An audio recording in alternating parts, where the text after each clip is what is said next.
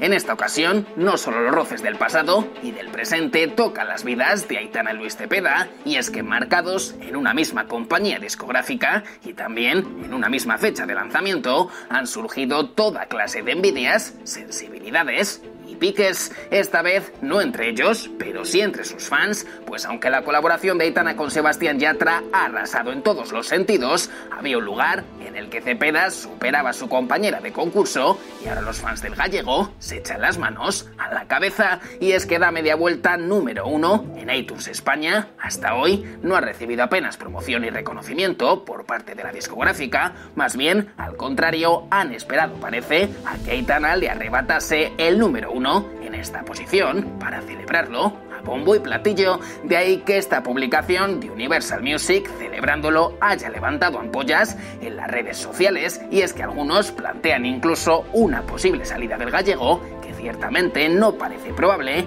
rumbo a Sony Music. La realidad parece ser esta, Aitana es la gran apuesta y Cepeda, tan solo uno más, sabrá aceptarlo el propio triunfito, lo entenderán sus fans. ¿Tú qué opinas todo esto? Déjanoslo en los comentarios.